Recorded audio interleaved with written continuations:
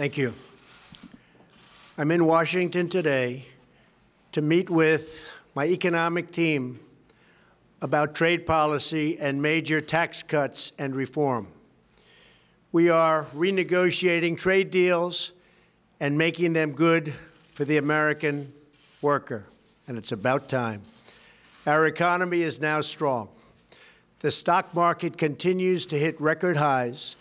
Unemployment is at a 16 year low, and businesses are more optimistic than ever before. Companies are moving back to the United States and bringing many thousands of jobs with them. We have already created over 1 million jobs since I took office. We will be discussing economic issues in greater detail later this afternoon. But based on the events that took place over the weekend in Charlottesville, Virginia, I would like to provide the nation with an update on the ongoing federal response to the horrific attack and violence that was witnessed by everyone.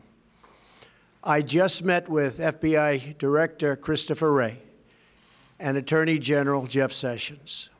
The Department of Justice has opened a civil rights investigation into the deadly car attack that killed one innocent American and wounded 20 others. To anyone who acted criminally in this weekend's racist violence, you will be held fully accountable. Justice will be delivered.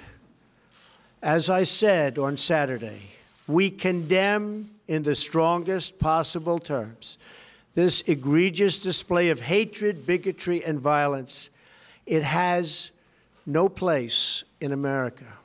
And as I have said many times before, no matter the color of our skin, we all live under the same laws. We all salute the same great flag. And we are all made by the same Almighty God. We must love each other, show affection for each other, and unite together in condemnation of hatred, bigotry, and violence. We must rediscover the bonds of love and loyalty that bring us together as Americans. Racism is evil, and those who cause violence in its name are criminals and thugs, including the KKK, neo Nazis, white supremacists, and other hate groups that are repugnant to everything we hold dear as Americans. We are a nation founded on the truth that all of us are created equal. We are equal in the eyes of our Creator. We are equal under the law, and we are equal under our Constitution.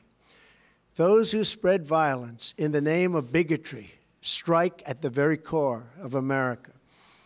Two days ago, a young American woman, Heather Heyer, was tragically killed.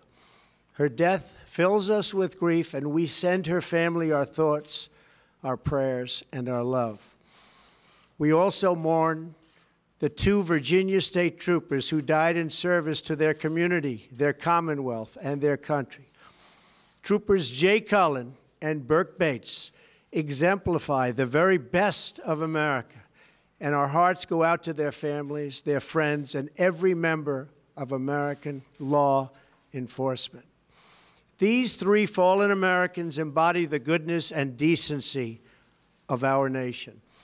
In times such as these, America has always shown its true character, responding to hate with love division with unity, and violence with an unwavering resolve for justice.